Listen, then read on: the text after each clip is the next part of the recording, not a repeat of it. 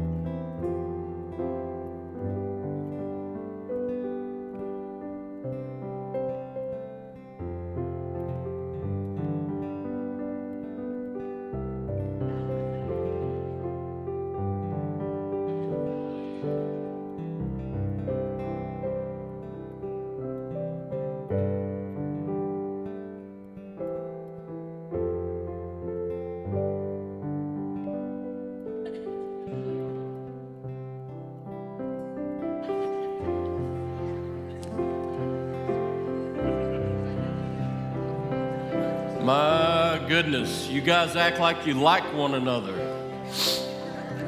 Give me just a second. Let them sit down. There you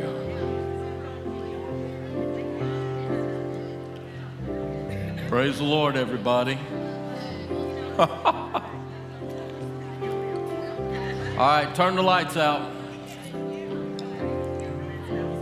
All right, let's find a chair to sit in. Or turn around, park it, one of the two. So good to see everybody today. Y'all look good this morning. Here you go, my brother, my friend. It's good when your brothers are your friends, right? Right? The. Uh, if we've not met, my name's Preston Smith. I'm the pastor here at the bridge, and in a moment you can come on up, sweetheart. This is my wife Karla with a K and she's got an announcement to share with y'all, please. There you go. Take your liberty, preach if you want to. Okay, so how many of you like to give? Okay, so I'm going to give you an opportunity to give. Um, we have a couple here that is going to have a baby. Yeah, so Nathaniel, will you please stand up? It's Cheyenne put the spotlight on her over there? Yay. They are going to have a baby boy named Raylan, R A Y L A N. And um, we are going to set a table up for them next Sunday. And so uh, it's going to be like a table shower. So you can bring a gift uh, next Sunday, which is the 21st, and the following Sunday, the 28th and you can just put your gift on the table. And uh, she, Cheyenne, is registered at Walmart.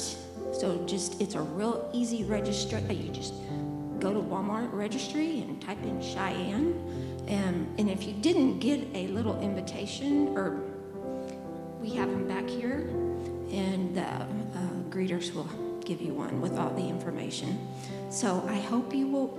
These two, this couple serves the bridge so faithfully, and they live so far away. I just really want to bless them. So I hope everyone participates in this. Okay? Thank you.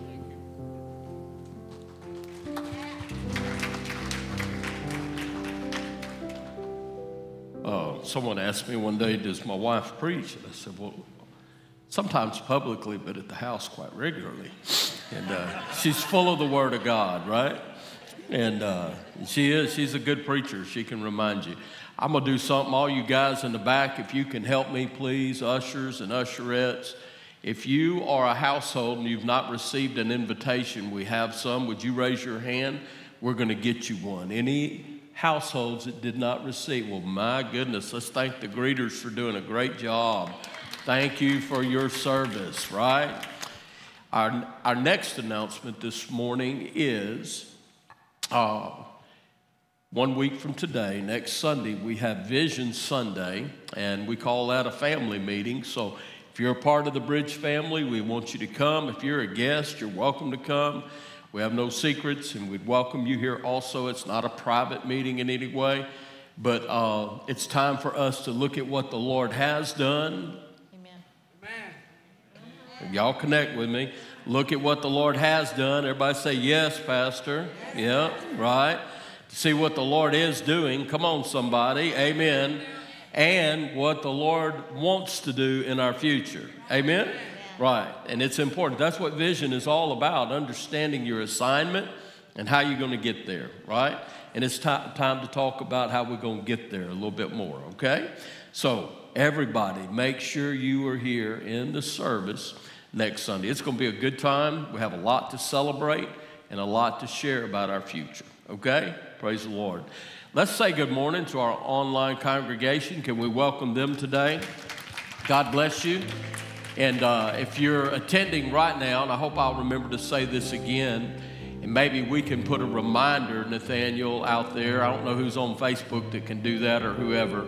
Uh, if you can, make a, go to the comments and make a comment we actually try to keep attendance and keep up with who belong to the bridge. Now, if you're a guest on there today, you can say, Hey, I'm a guest, and we'll connect you as best as we possibly can. We have a lot of folks that attend church by the online vehicle, right?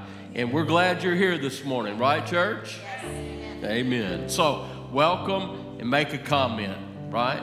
And uh, if any of you are on Facebook watching today that are in the church, I see some folks not here, make a comment. Please comment and let us know you're here today. That'd be very helpful to us. Praise the Lord. Everybody okay? Yes. Missed you last week. Is it good to be missed? It's noticeable, right? Praise the Lord. Let's stand all over the house today. How many of you are ready to go shopping? Okay, shoppers? Any shoppers? If you had all the money you need, I know, Hannah. She's about to graduate. She had her prom. Was it prom this weekend? It's, I saw some pictures, graduation pictures, right? Somebody else had prom pictures up already. Oh, that was your granddaughter, Mom Proctor. Yes, she had prom. See, I just get all these pretty girls mixed up, right? And uh, how many of you want to take a trip to Hawaii? Right? Come on now. I, I, I, want you to be honest. I've never been to Hawaii, have we? Do you want to go? Okay, we need to think about that. We need to go to Hawaii sometime, right? Right? If you don't raise your hand, you might not get to go. Uh, how many of you would like to go to the deer camp and work with me, right? Uh, okay, good. Ron Kelly, Hannah would too. Yes, yes. And uh, that's, that's, that's a different kind of fun. How many of you want to go play golf today after church, right? We have any golfers in the house? No? How many of you want to go to the gun range and burn some powder? There you go. Got a few more, right? How many of you want to worship the Lord today? You know, that's something we get to do together. It's a common denominator that we all share, right? And there's one place that we can all gather, and that's at the throne of God and worship our King of Kings and our Lord of Lords. Are you ready to worship the Lord this morning? Amen. Let's worship.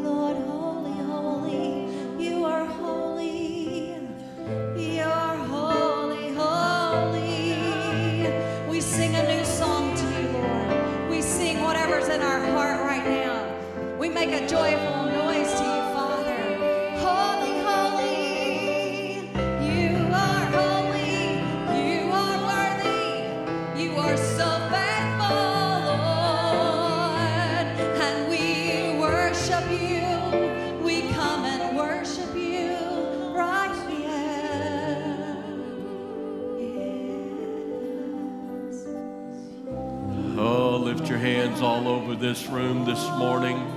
Online church, lift your hands up to the Lord. And just say to the Lord, make a declaration of faith, oh Lord, you are holy. oh God, you are worthy. Yes, worship the Lord. Just lift him up today. Make him bigger, bigger than you've ever seen or known him before. He's a great God and mighty to be praised. Hallelujah. Thank you, Jesus. Lord, we lift up to you this morning. Walt and Pam Hall and Gino Falgu in Jesus' name, Lord. We're asking you to touch Gino's body, Lord. Strengthen him, heal him, minister to him, Lord. In Jesus' mighty name. Glory to God. Hallelujah. Don Robinson, Lord, from the test, Lord, that he had.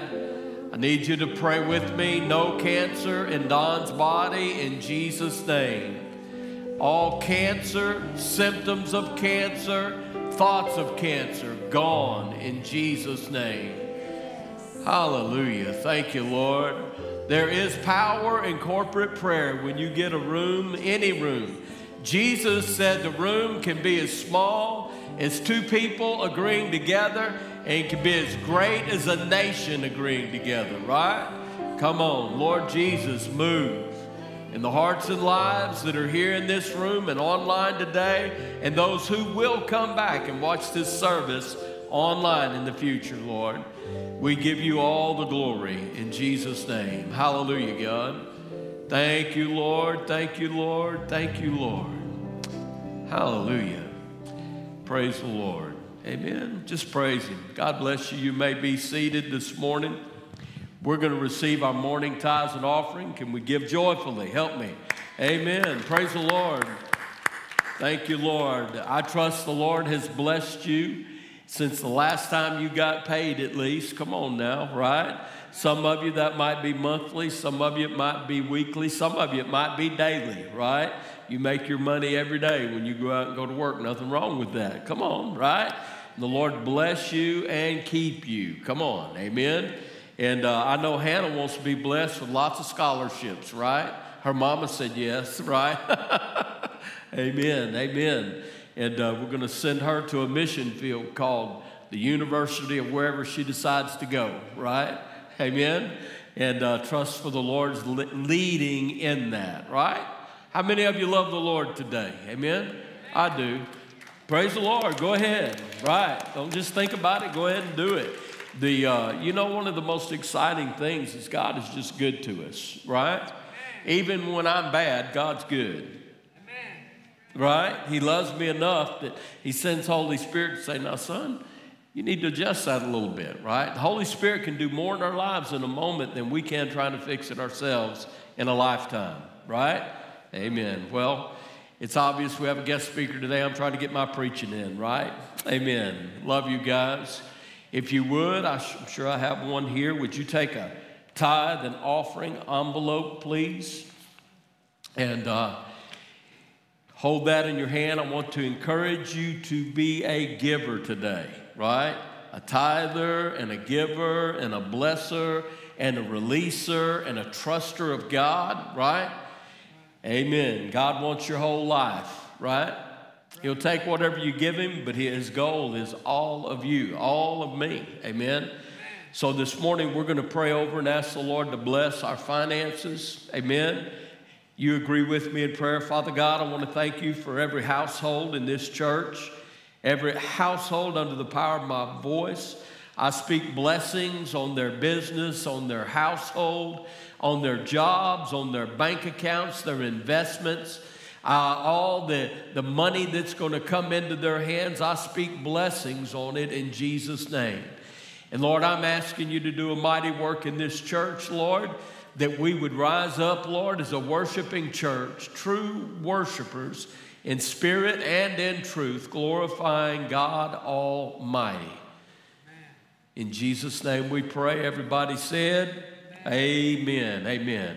Would you stand with me all over the house this morning? If you're online, I'd stand up too. Get involved and you'll stay awake, right? I don't know about you, but I've gone to online church. I go to church every week somewhere online, right? Listening. But I usually do it while I'm moving about the planet so I won't fall asleep.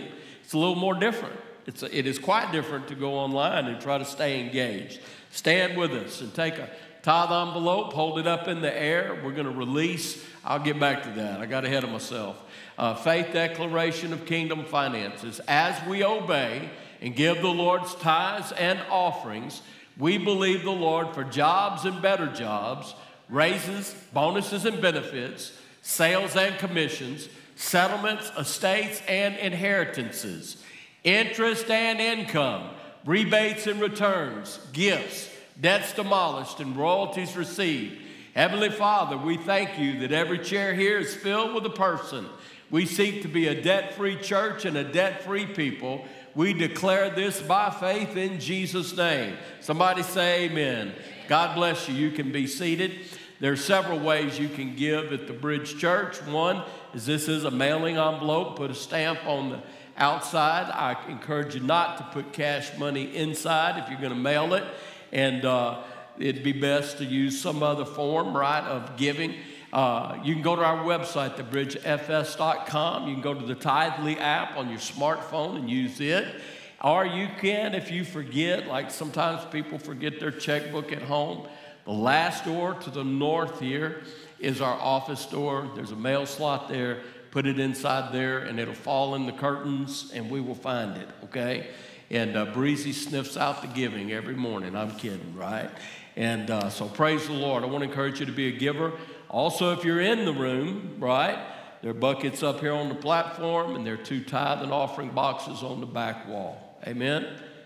Smile at somebody. They're going to wonder what you've been up to, right? Where are all the bridge kids? Are they kicking this morning? The bridge kids. All right. Praise the Lord. Give them a hand. Come on. Let's celebrate the next generation, right? What about Bridge Youth? They're just sitting there. He forgot us, Mama. He forgot us. I hadn't forgotten anything, but I did remember. All right, Bridge Youth, if you'll go back with Miss Karla and Brother Thomas and go to class back there, they have something cool for you to do too. All right? Amen. Y'all tired today? Praise God. Well, one of the delights of being a pastor is having friends. And uh, I talk about all the time that we have a great missions program in our church. And uh, I'm not going to take the time to talk about all of that today, but we, we are a very giving church to the nations. Amen. Thankful that we are. Amen. I wish we had more in our budget to give, right?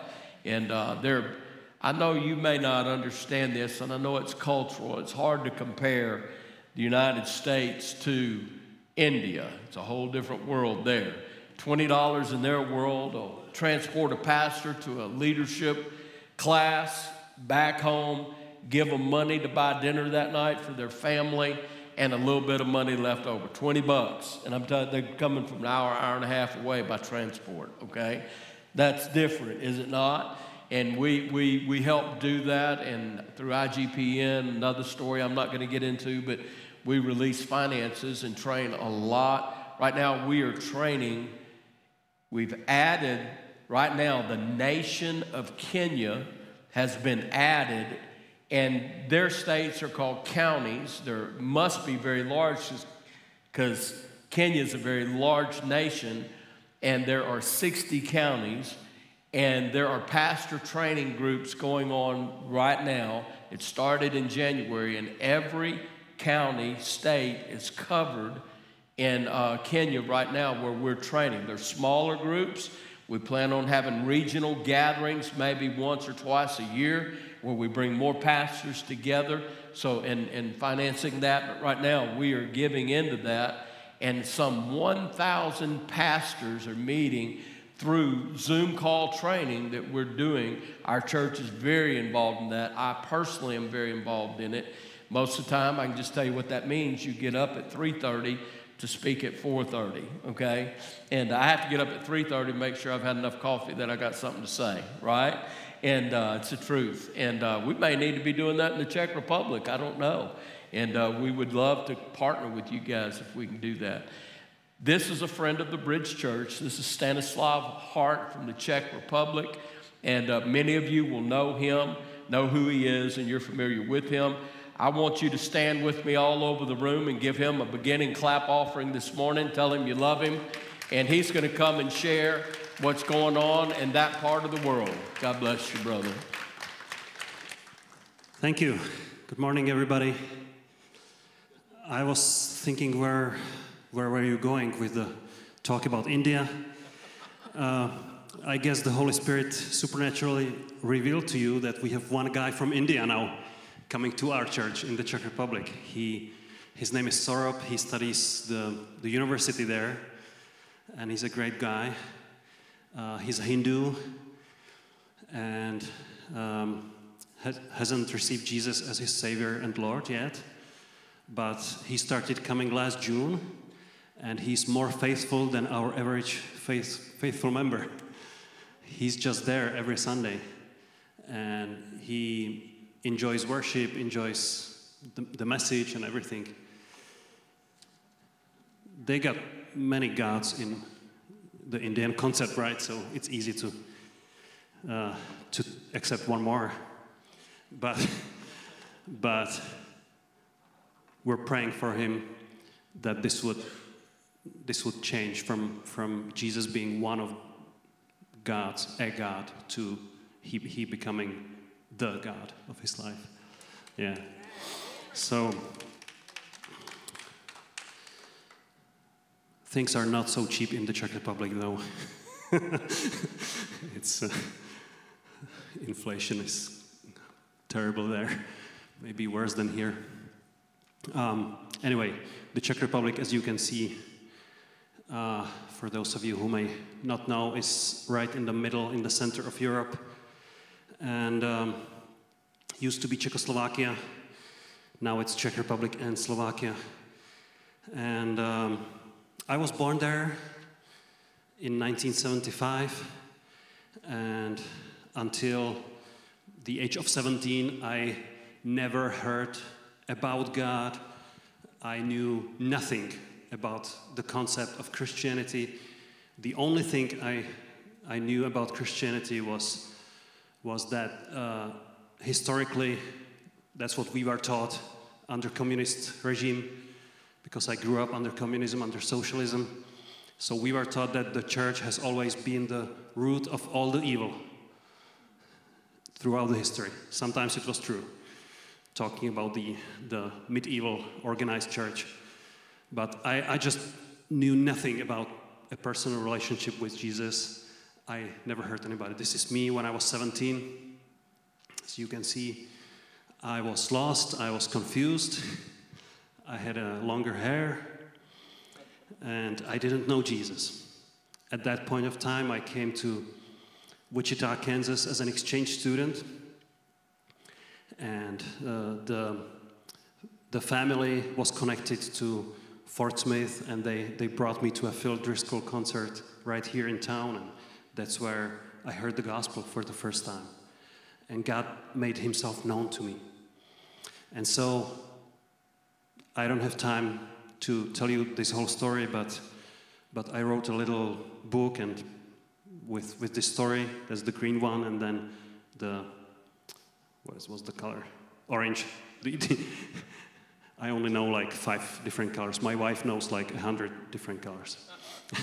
so this is orange for me or it's light red maybe. So, so the other one um, has a lot of testimonies from the ministry. So fast forward, today um, this is this is our family. Uh, we're doing really well. Kids are growing.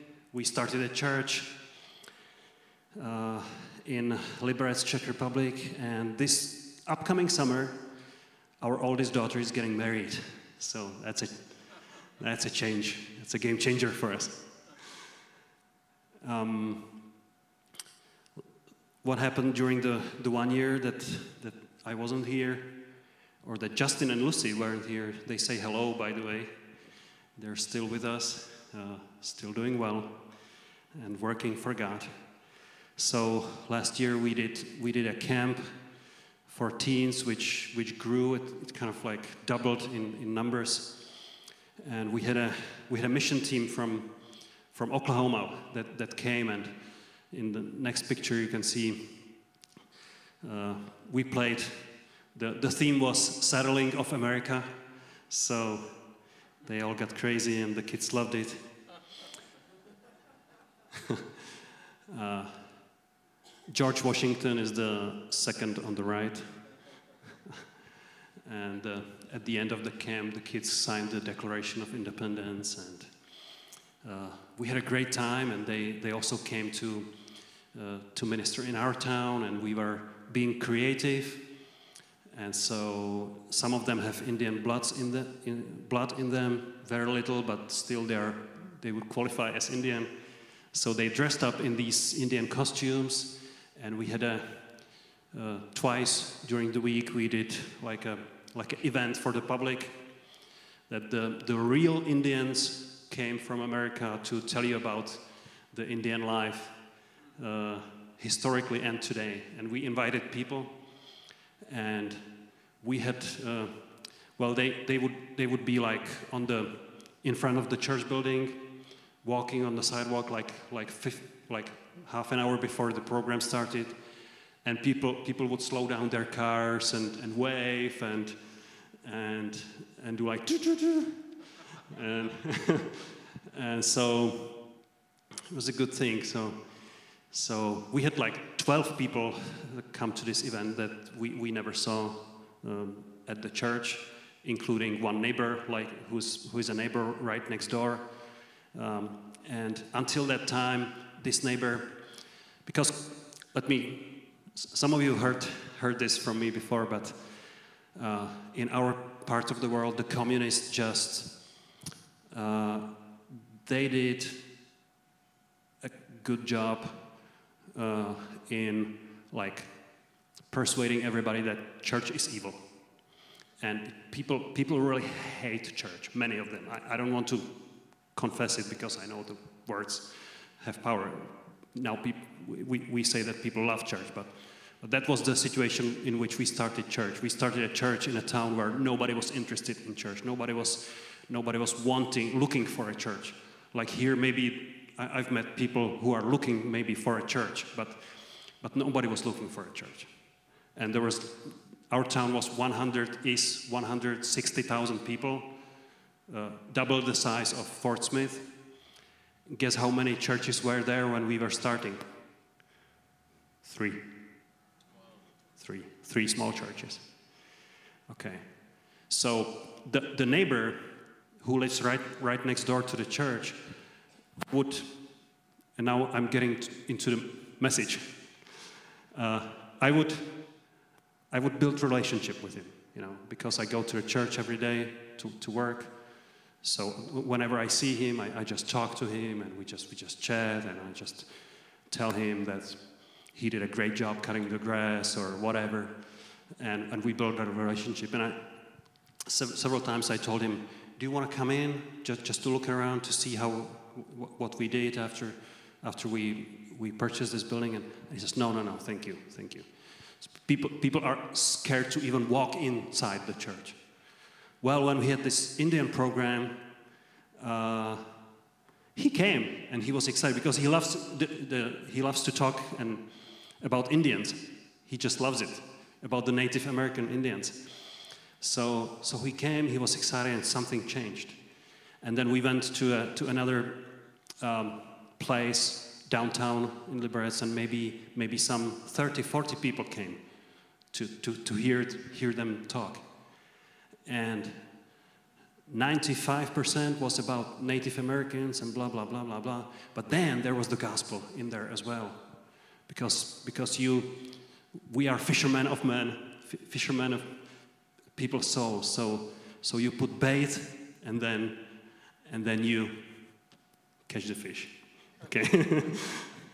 so, okay, next picture. We are so we keep on building relationships, building community.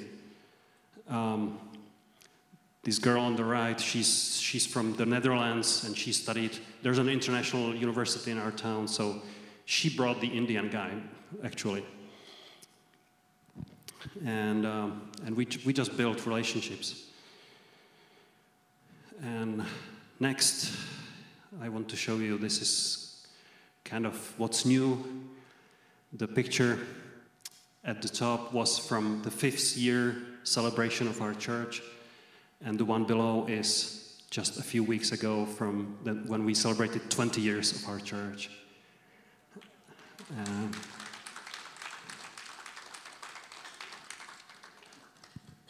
it's growing, it's growing. God is bringing people because God loves people. But we cannot stop there. And because the secular people are very physical, so, so they, we found out that, we, that they need to see where their church is, you know. So some six years ago, thanks to God's grace, we, we managed to purchase this little house, which is ours. We, um, I was talking to the pastor in a, in a place smaller than this section. We have the stage, the sound system, the, the welcome center, everything, and 90 chairs. Uh, we don't have how do you call the, the space in yeah we don't have the comfort of having aisles. Just just very small just to, just to get through you know. But uh, god's god's blessing us and, and people keep coming and i'm scared of sometimes i'm in my head i'm a little bit scared when some, somebody prays oh god bring more and more and more people. I'm like, like, what shall we do? But yes, we keep praying like this. so the next, our next step is we already have pictures of, of our new future church building, including a watchtower, and it's it's really beautiful. And we just trust that God will lead us. And just before I got on the plane to come here, we signed a contract with. Uh, uh, architects that will make blueprints. The blueprints itself, three different sets of blueprints, will cost $100,000. So we are not India, unfortunately, but, but we believe our God is big and he can, he can make this happen. So the pastor asked me to preach today, not, not just give a mission report. Okay, this is, this is like a, some more details. And it will be in Europe, in here you build this way. In Europe, you have to build this way because there's not enough space. So we'll have like three floors of the administrative building or like with like a cafe welcome center and then the youth room and then another youth room and office. We go up and then we have the, the worship center with a balcony. So yeah. So we're planning for like some 300 people to, to fit in there uh, if we eliminate aisles even more, maybe 500. okay, so um, pastor told me to, to pray and to, to, bring, to bring a message. Then I, I prayed, and then I said, Pastor, uh, you may not invite me back. and he said, Go ahead. And then I read on Facebook that you, you wrote something like, We need to preach the truth, whether it fills the room or empties the room. So today I'm preach, I will preach the truth from my heart, whether I get invited back or not. Okay? so it's called Radical Love. Um, I don't know if it's good to be a radical all the time. The word radical, it seems like extreme.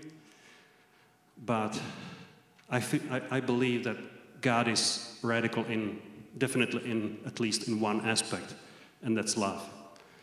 His love for us is so radical that he gave his only son. And as other scriptures say, he, he came himself, he became flesh and died on the cross for our sins. That's how radical his love is. when he was hanging on that cross. So his love was so radical that he says, Oh God, Father, forgive them, for they don't know what they're doing. Right? So if I show you the next picture, I'm wondering what kind of emotions does it does it create in you, if you can see it. Um,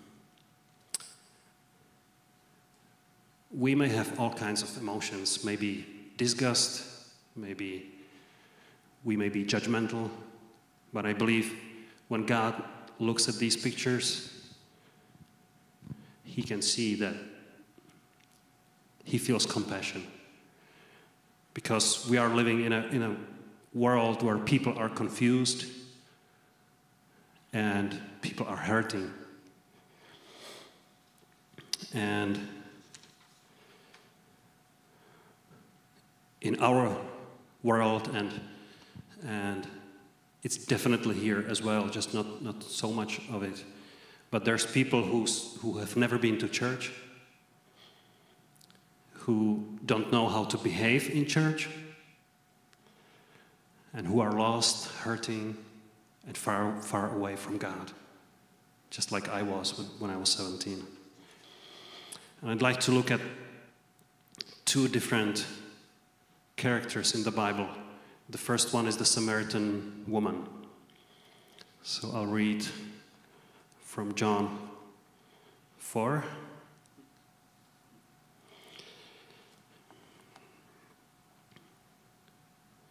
This is the NLT, John 4 7.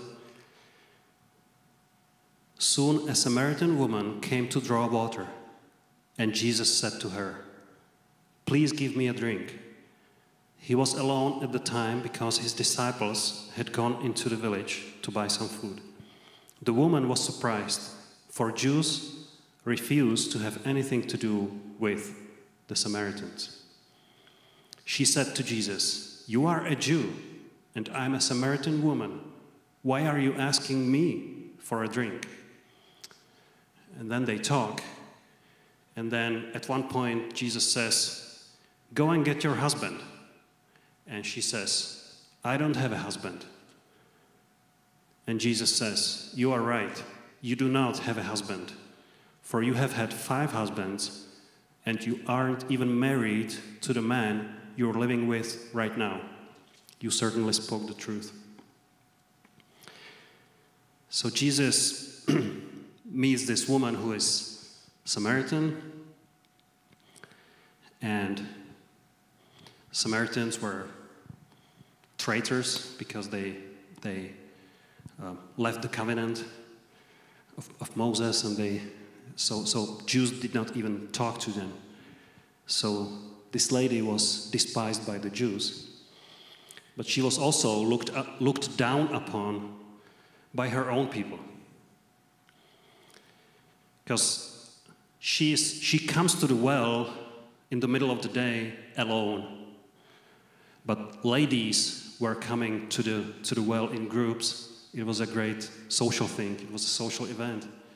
And when, when we read that she came alone, we, we can feel that she was alone, that, she, that people looked down on her.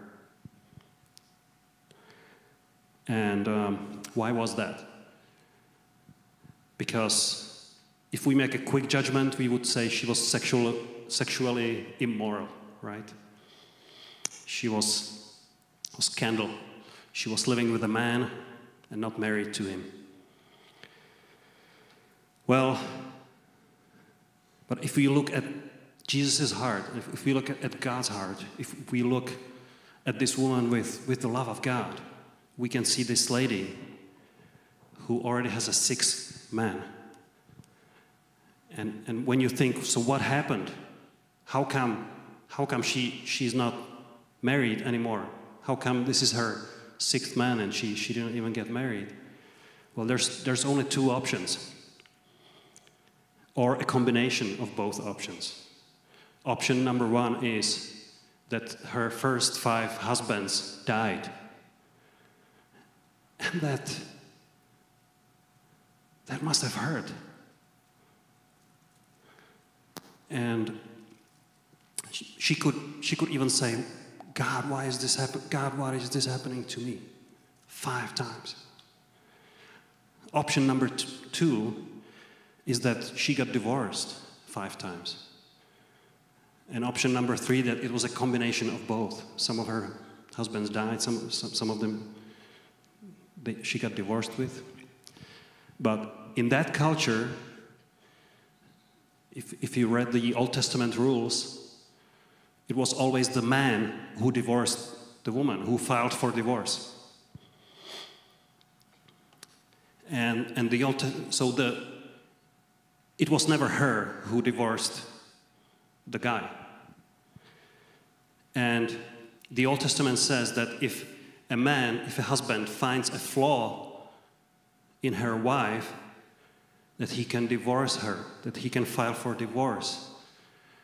And then the Pharisees and the Sadducees discussed with Jesus what that flaw really means, and, and, and he was explaining this. So, can you imagine that, that maybe five times the husband comes to this, to this girl after a year or two and says, I find a flaw in you, you're no good, I'm filing for divorce. And this might have happened five different times. Or she might, maybe she, maybe she lost some of her husbands because they died. So the point is, this, this lady, this dear lady, was hurting. And she was hurting so much that she said, I don't want to marry again. I'd rather just, just stay with this guy not, not really marry him because I don't want to be hurt anymore. And she was alone, like I said. She felt alone. Okay. Do you feel sorry for this for this lady? And what did Jesus do? He could see right through, and he came and offered her the living water, different kind of water. Because when, when she would drink from that well of, the, of God's water, she will not thirst any longer. So he's showing her God's love. And when she tries to do a theological discussion where to worship on this holy Samaritan um, hill or mountain or in Jerusalem. Jesus says, doesn't matter. God is with you always. Like we were experiencing today at worship. He says God is looking for people who will worship Him in truth and in, in spirit. Well, the second person is Zacchaeus. And we, we read in Luke 19 about Zacchaeus. Jesus entered Jericho and made his way through, through the town. There was a man there named Zacchaeus.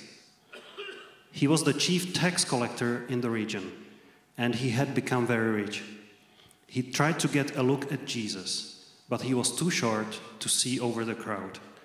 So he ran ahead and climbed a fig tree beside the road, for Jesus was going to pass that way. When Jesus came by, he looked up at Zacchaeus and called him by name. Zacchaeus, he said, quick, come down. I must be a guest in your home today. Zacchaeus quickly climbed down and took Jesus to his house in great excitement and joy. But the people were displeased.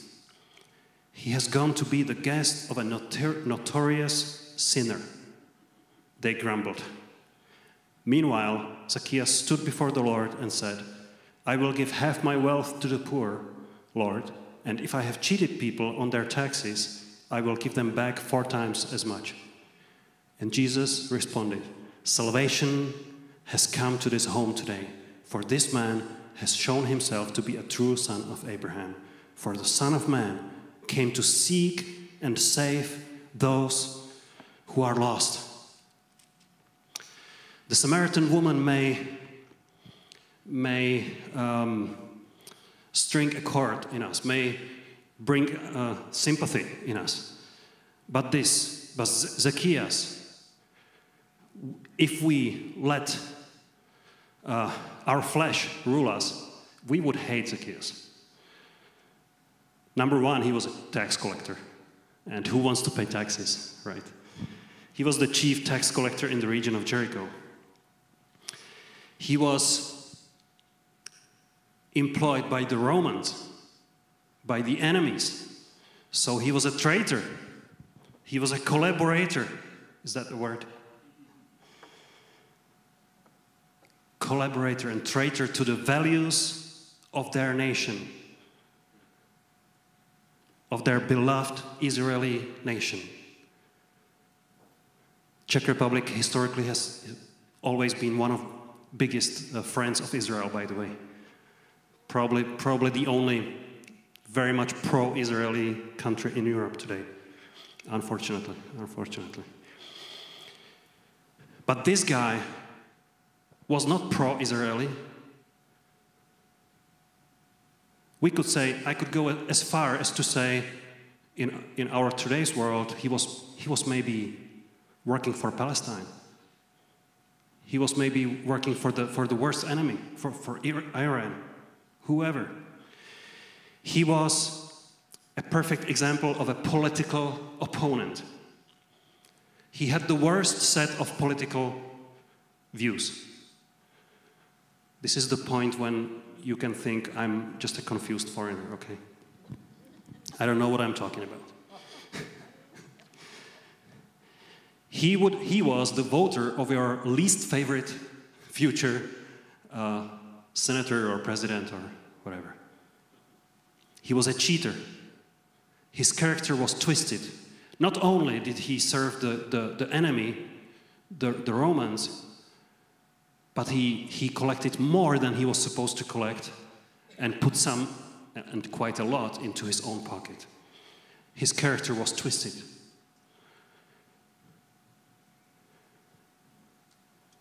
And what does Jesus do? He invites him, or him, he invites himself actually, to, to his home. Um,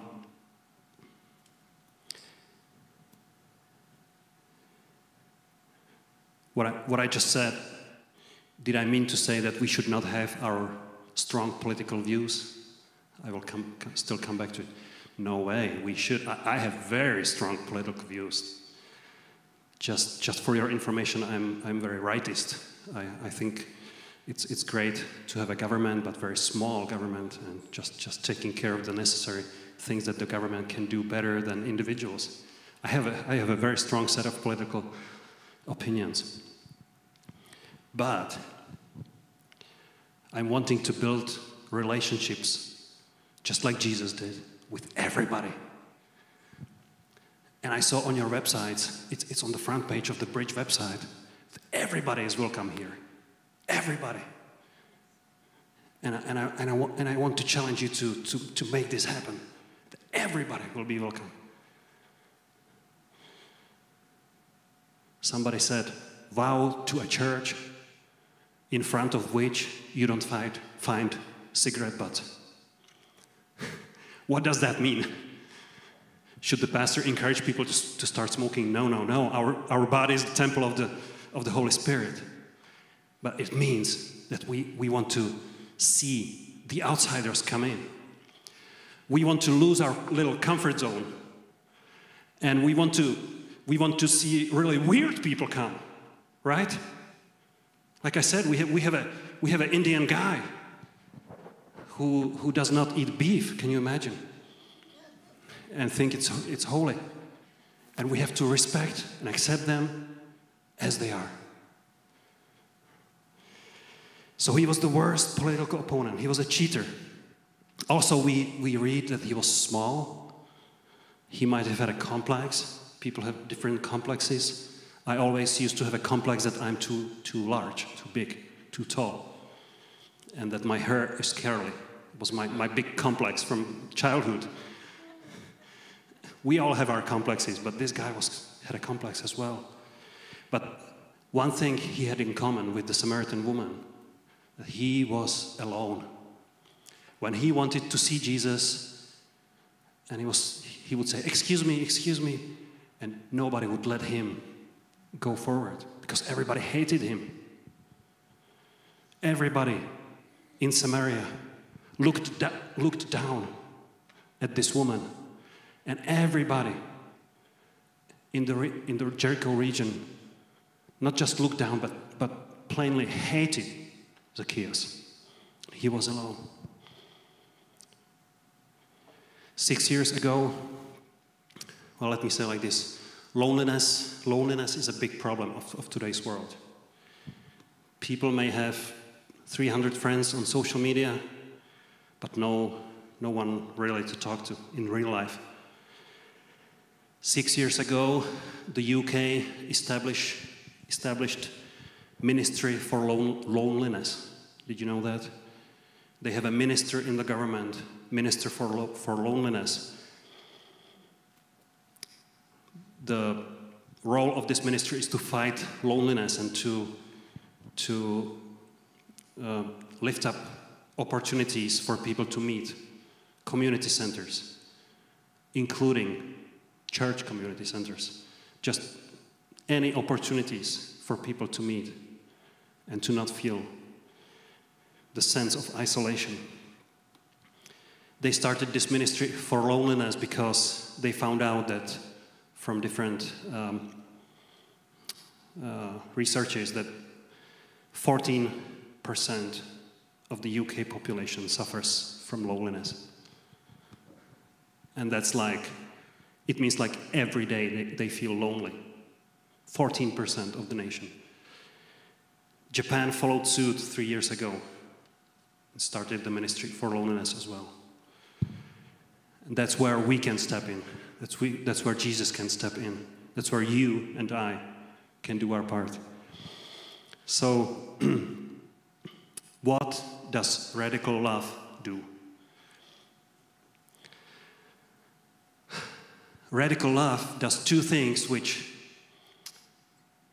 are seemingly contradictory, but they are complementary. They work together. Number one, radical love does not judge and connects and builds a relationship with no strings attached. You just build a relationship. You just love this guy even though he's not eating pork or, or um, beef or any meat. You, lo- you love this girl, this lady, even though she's living with someone who is not her husband.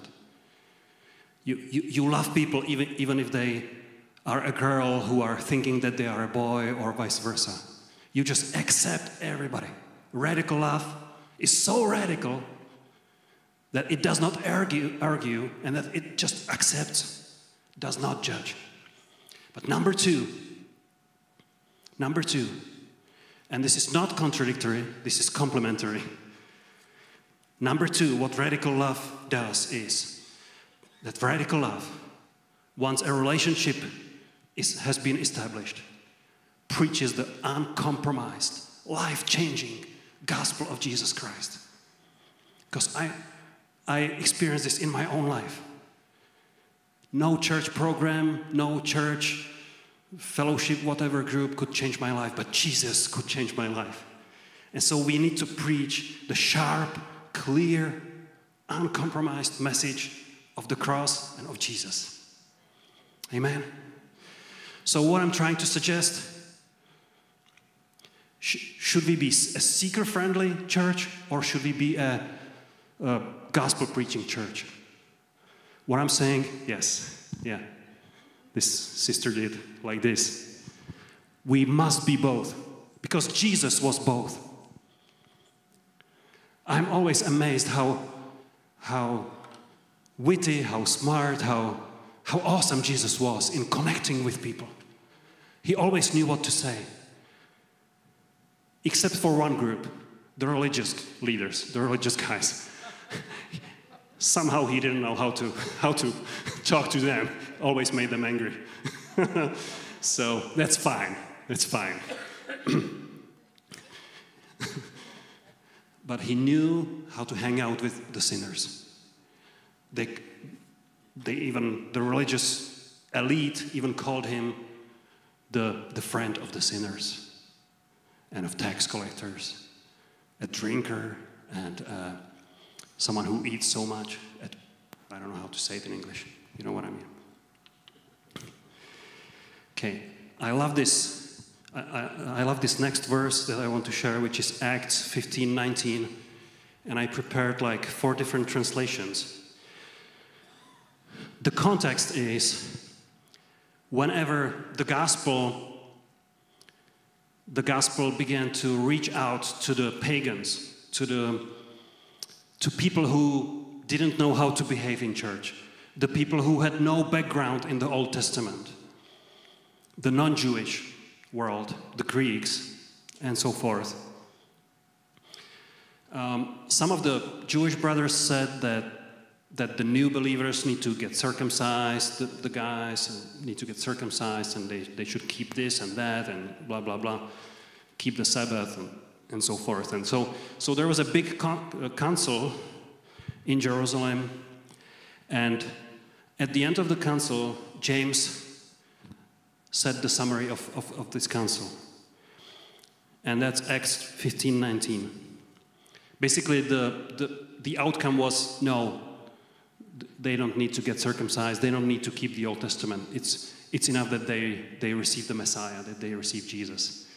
And just, just they named a few practical things, you know, like, like that they should not eat meat with blood and stuff like that. But the, the sentence, which seems very, very interesting to me, it's Acts 15 19. King James Version says, Wherefore, my sentence is that we trouble not them which from among the Gentiles are turned to God. We should not trouble those who are coming from the Gentiles. CJB, this is like a, like a Jewish, special Jewish translation. Therefore, my opinion is that we should not put obstacles in the way of the Goyim, those are the non Jewish, who are turning to God. We should not put obstacles in their way. NLT says we should not make it difficult for the Gentiles who are turning to God. And MS Message Bible says we're not going to unnecessarily burden the non Jewish people. What am I trying to say? How do I connect with people and not scare them away? How do I become a Jew to the Jews and a Greek to the Greeks?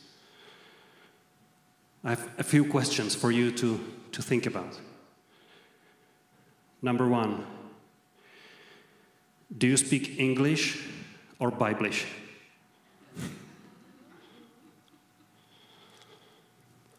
Do you still speak English? Wouldn't it be weird if, you know, if, if we think about those, those people outside, what do we need to communicate to them? We need to communicate to them that Jesus loves them and that we love them and that the source of our love is, is God's love and that He sent His Son Jesus on the cross. That's all. We don't have to quote the Bible 24 7. We don't have to say, Praise the Lord, Amen, Hallelujah, every five times in, in, in 10 minutes. Because then we become weird. And back to my previous verse, we put obstacles in the way. And we trouble them who are, who are supposed to get saved. Next question. Please consider Do you have friends among the non believers? Do you have an unsaved, unchurched friend? It's okay to admit you don't, but it's, it's important to, like at every therapy, you know, like somebody who has a drinking problem, the first step to get healed is to, to admit I have a drinking problem. And some of you may have a problem that you've been living in a Christian ghetto for years. We are fort- fortunate in this aspect. It's really difficult to happen to us. But even, even for us, it's, it's easy to get, to, to, to only have friends in church. So we always encourage one another make a friend from outside of the church. Try to, try to befriend your neighbor. Try to befriend your work colleague. Try to befriend a family member who is not saved. Try to be there even for the most unlikely one to get saved. Because sometimes, because we never know, sometimes they are the closest to the kingdom of God. I, I saw that happen many times. So I challenge you to make a friend among the non believers. Next question What do you post on social media? If you are on social media, what do you post? Is it, is it ever in English or is it always in Biblish? Is it always like some people have, have a good heart and good intention, and they're, there's God changed our lives so much that we want to share it with everybody. But I, I, I made, I've made some mistakes in my own life. After I got saved, I, I called, I, I told my family, family circle, I called like 10, 10 people, like my, my mom and my dad and my sister and my grandma. Like I called everybody into the living room and I said, I have a big announcement to tell you. I need to tell you something. And I told them that Jesus changed my life. And I thought they would get saved immediately. So I had brochures for them ready. And, and I said, hey, it's serious. If, if, if you don't receive Jesus, you end up in hell. And hell is terrible. And I began to, describe what hell looks like. And I, I, my, my dad got angry. He slammed the door and said that I go from one extreme to another from, from drugs and, and, and, and drinking to, to being a religious fanatic. Jesus knew how to connect. Jesus was not a fanatic. He was not speaking Biblish, if you know what I mean.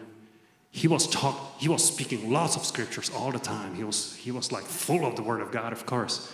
But it came just so naturally. And it happened to me like some time ago during COVID time. This principal from one school where our kids went to used to go to school.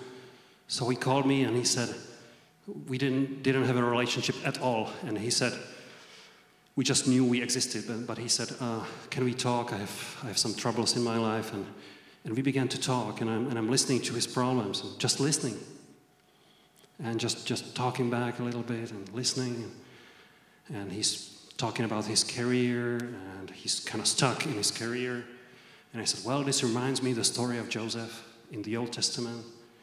And I would like to encourage you to just be faithful, just like Joseph was faithful to his values, to his morals. And I began to give him a little taste of, of what the Bible is about. And after a while, he says, Wow, I was afraid of this conversation. I, will be honest with you. It took a lot of courage for me to, to contact you and to, to talk to you. I was, I was afraid you were going to beat me with the Bible. But I must admit, I, I enjoy talking about the Bible stories. So we need to connect first. Next question is a question maybe to your pastor and to your lead team. We may discuss this later if, if we want to. Are your Sunday services both spiritual and understandable to the brokenhearted? Will people understand if they come from, from the street? Will they understand what's going on here? We've made some changes in, in the past two or three years in the structure of our services, in the vocabulary that we use in the services. We did no changes as for like, we did not sugar melt the message. We still keep the same message. In fact, right before I got to come here, four people received the baptism of the Holy Spirit with speaking in tongues on, on Sunday.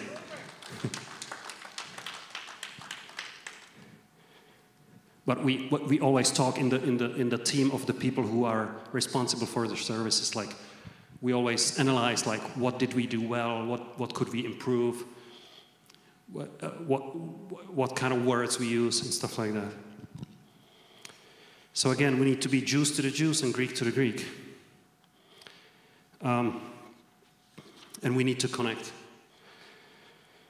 We learn by mistakes. Um, I'll tell you a, a, story. So a few years ago, we did a it was like a graffiti um, contest. So we hired this. Uh, we got a permit to organize a graffiti contest under a highway bridge. That these street teenagers who, who sometimes take drugs and spray, you know, graffiti, so that they can come. And we, we offered them that the church paid the base paint, and we, we ordered pizza, and we had, we had like a sound system and played music. And at one point, at, towards the end, I, I got, got up to speak and I, and I began to talk to these people. I said, Hey guys, um, I just want to tell you my story. And I said, I said how, how um, I used to take drugs and just hang out on the streets and, and I, I drank so much and I, I took drugs and, and then, then at one point I met God and he, he changed my life and, and I have a great new life. I'm happy and look, these are my kids and this is my wife. My, my kids were small at that time. And, and people, they were really attentive. You know, they really listened, and wow, like it was awesome. Like one of the guys, at least that I know, is already saved from from this uh, session, from this meeting, serves God today. But but many many lives were touched. So it worked really well.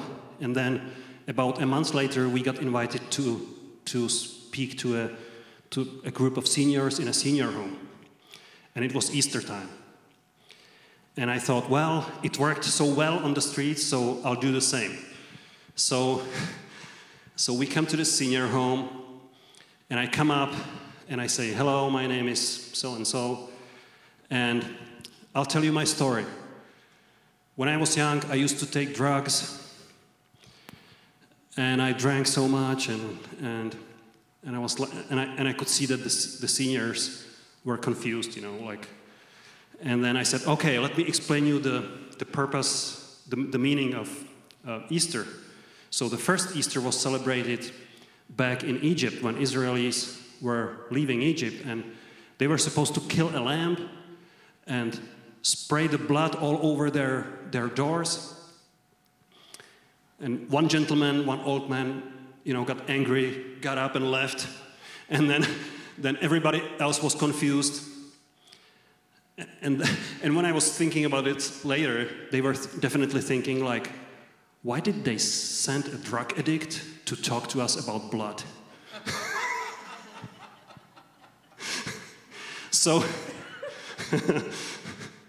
so what worked under the highway bridge with the teenagers did not work in the senior home. Fortunately, one other guy was there with me and he stood up when he saw what was going on, and he said, Well, let me tell you my story.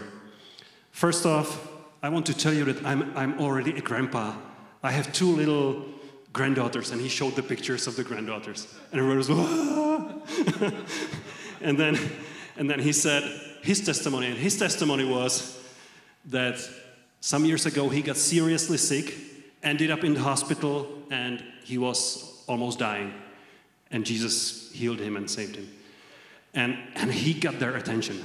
He got their attention because I don't know about seniors here in the United States, but seniors in Czech Republic like to talk about two things their grandkids and their sicknesses. so you connect well with them. when you talk to a senior, you know, it's great to talk about your, your kids, grandkids, or what, whatever hurts and like what kind of physical problems you have. Okay, so we need to connect. And number two, and this is, I'm coming to, towards the end of the message, uh, we need to preach the gospel. So, what is, my, what is our task in reaching people? How do we preach the gospel? You'll be surprised, but number one is we need to be, be a living testimony. Because our lives speak more loudly than our words. Jesus said, Let your good deeds shine out for all people to see. We need to just love on people. I know I've, I've been sharing a, a story here before, I, I, I will make it short this time, but, but we, had a, we had a neighbor, next door neighbor, who was sick, had cancer, a lady, when, and, and we, just, we just felt just, just God put her on our hearts very, very much. And so we would just love on her. We would bring her cakes, and, and uh, when we went shopping, we, we, we asked her if she needed to, to get some groceries. When I would go mow my lawn, I would mow her lawn as well. And we just loved on her. And long story short, my wife led her to, to Jesus 10 minutes before this lady died. 10 minutes before she left this world, she accepted Jesus as her Savior and Lord. So we need to be a living testimony because that will melt people's hearts. Do not, let's not try to correct or change people. Oh, brother, shame on you, long hair, all kinds of necklaces. You should not wear this in the house of the Lord. No, everybody's welcome. Whether they come wearing a suit and tie or whether they come in, a, in shorts and a cap, everybody. We, we, we don't correct people. You should not blaspheme the, the name of the Lord. They don't know any better. They're not saved yet. You shouldn't smoke. They don't know any better. They got no help, and it's, sometimes it's, it's, it's difficult even, even with Jesus living inside of you. What helped me years ago was the verse about the body being the temple of the Spirit. So I thought, well, it just hit me. But you, you need a revelation. And my point is, we need to preach the clear, uncompromised gospel.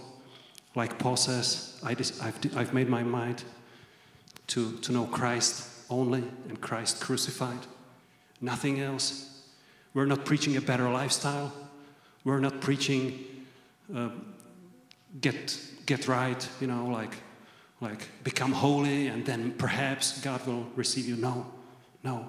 Only God can change a person's heart. And he, He's after people. And He wants to send you.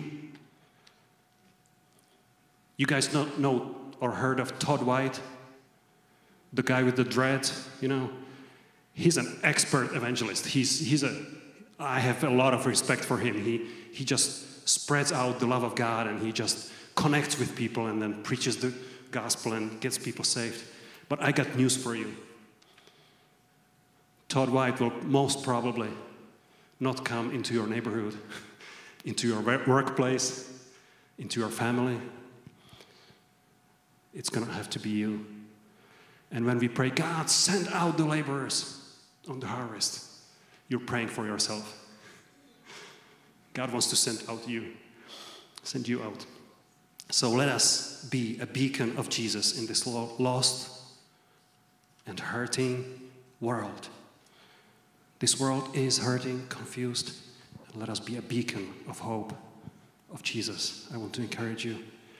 So that's why we want to want to open up this, this community center and this, this it's a beautiful night view and, and to, to just show that there is hope in this world, that God loves people.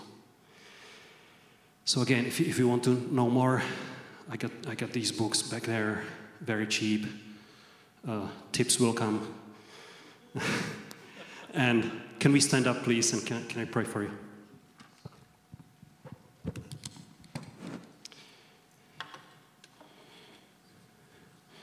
Hallelujah. God, I thank you that you've, uh, your, thank you for your love, so radical, so extreme, that you became one of us in Christ Jesus to pay the penalty, to pay the full price for our sin. Thank you, Lord, that it's easy to evangelize. We just need to learn how to connect, how to speak English again, how to talk to people about their hobbies, their interests, how to, how to just love on them and, and walk with them and, and be there for them. And I pray that everybody who does not have an unsaved friend in this room or uh, in the online world, that we would get a friend who is not saved. And I pray that this friendship and just listening to them would enrich us, that we would get a better understanding of how they're thinking, of what do they think about the church, what do they think about the Jesus freaks, so that we, we do not become a Jesus freak to them, but that we become a good friend, a good Christian friend, and that they would open up their hearts to the gospel and eventually become saved. I pray for all the lost loved ones in the families of the people of this church. I pray for all the lost co workers, neighbors, just everybody that we meet in Walmart, in the streets, in the neighborhood, wherever we are. I pray that we become a beacon of, of the light of Jesus in this world. And if you agree to this dangerous, it's a dangerous prayer. But if you agree, say amen. God may take you out of your comfort zone. I'm warning you. God may even take this church out of, out of its comfort zone. But it's a good thing. God bless you. Yes. Tell him thank you. You may be seated. Obviously, his English is better than our Czech, right? And uh, uh, um, sugar washing, right? A sugar coating, right? And uh, very good. It, we understood what he meant, right? And uh, I've preached in many different countries, and I don't speak any other language. I don't speak English well, I'm told. And uh, right? And uh, praise God. We really appreciate your heart and what you have brought today. And if this church would obey this message from today forward, we would never have enough buildings to hold the people. Right? That's the truth. Thank you. Thank you. This, um, how many of you noticed that in the beginning, his first character in the Bible was the Samaritan woman? We've been preaching on that since January. Really? Yeah. Yeah. And uh, we're not finished yet, okay? John 4. Right now, it's, uh, anyway, it doesn't matter. Praise God. So I knew you were on the right track with radical love, right? And uh, uh, I'm going to hand you back the mic. It's still on. Uh, tell us what's going on, and if the green light's on, it's on. Um, the Ukraine war that's going on. I know last time you were here, y'all had a lot of refugees that you were helping. Tell us a little bit about your perspective. You live a lot closer to the war than we do. Uh, the perspective of what's going on in your region, not your neighborhood, but what's the worldview there, okay? Well, um, I kind of, kind of could um, estimate that this would happen. Um, people get tired, of course, of helping refugees. You know, it's, it's people are excited in the beginning, but then they get tired.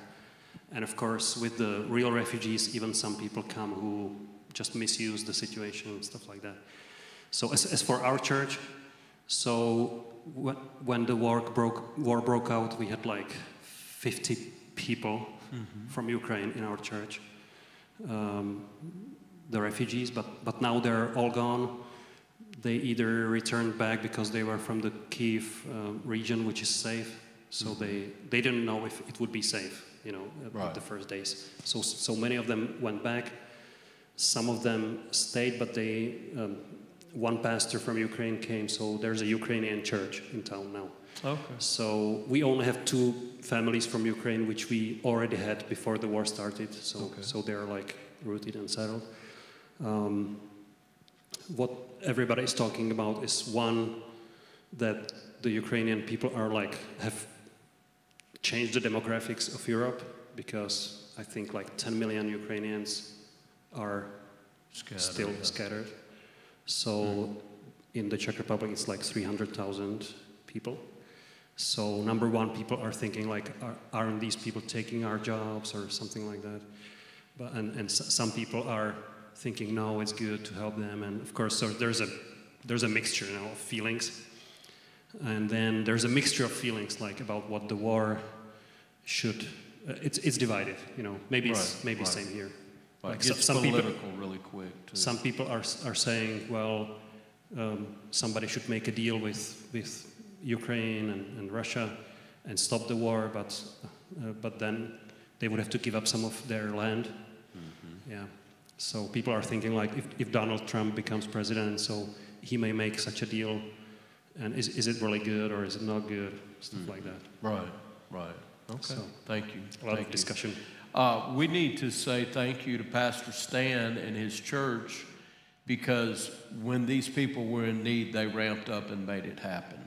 Right? They took them in like family, they ministered to them, they loved them, and they brought restoration. If they've gone home, they did, they fulfilled their assignment, right? And uh, we, our hats are off to you for doing that, and uh, we appreciate that. Uh, I haven't had a lot of time yet today to check on Israel. Um, yesterday, about 2 p.m. our time, uh, word was released that Iran had sent drones to Israel to attack it. The report that I do have, and that came from Stanislav, uh, he was listening to the news this morning.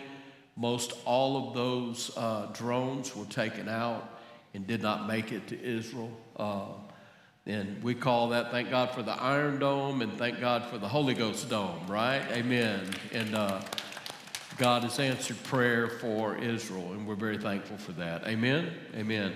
Um, take your tithe envelope. I know we haven't dismissed yet, but I'm going to do this quickly. I want you to understand at the Bridge Church how we operate when we have a guest missionary come in. We will uh, have an offering for Stanislav and the ministry there in the Czech Republic and Liberec. But we also want to give you the opportunity to sow good seed, finance, money into good soil. They are doing great things in the kingdom of God. Amen? And I want to encourage everybody at the bridge to do something. Some of you can do a lot, some of you can just do something, right? And uh, he is their ministry is very accountable. And uh, not only, if you, you say, well, Pastor, I wish I had it, but it'd be a few weeks before I could get it. Well, praise the Lord. We are an equal opportunity receiver of gifts, all right? I'm going to give you the next 30 days, which is mid May, to get your offerings in. So if you would, you say, you know what, I can, I can do that, whatever the amount. For some of you, again, it may be minimal. Some of you, it could be great, okay?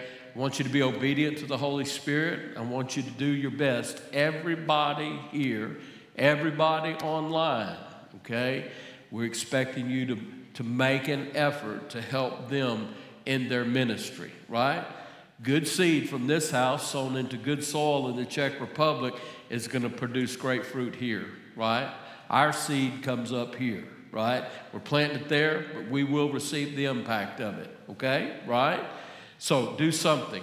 If you don't have anything today to give, write on uh, an envelope and just put there, uh, just C Z E C H. That's Czech. I don't know if you get that up there.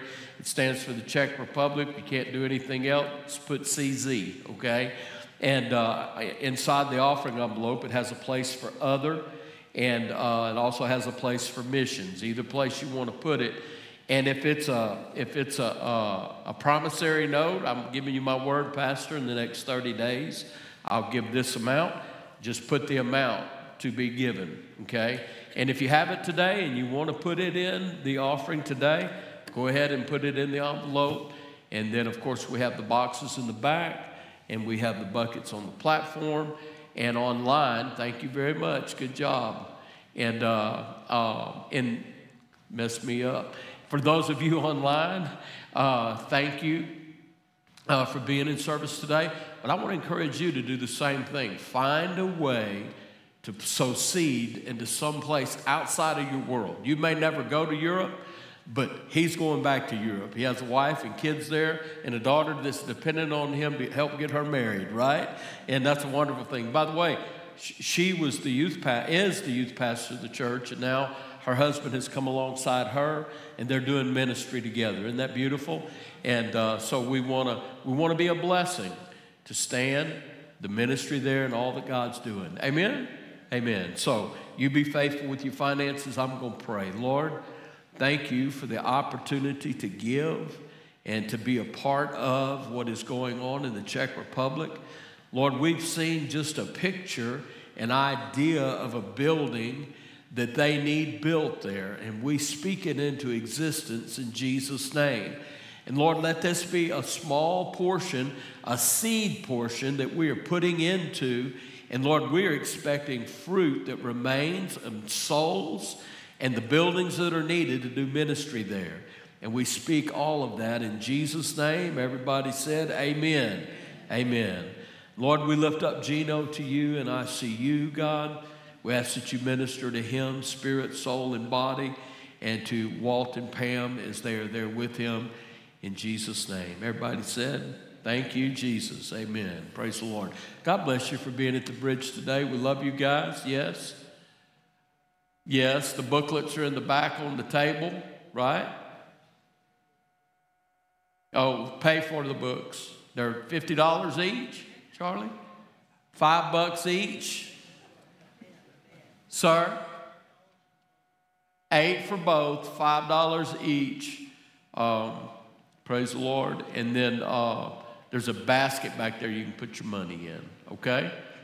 God bless you. Y'all have a great week. Remember Family Sunday next Sunday, vision casting, and be here. Bring, bring some of your church family with you. Bring a friend because the bridge is about what he spoke today. Okay? God bless you. Thank you.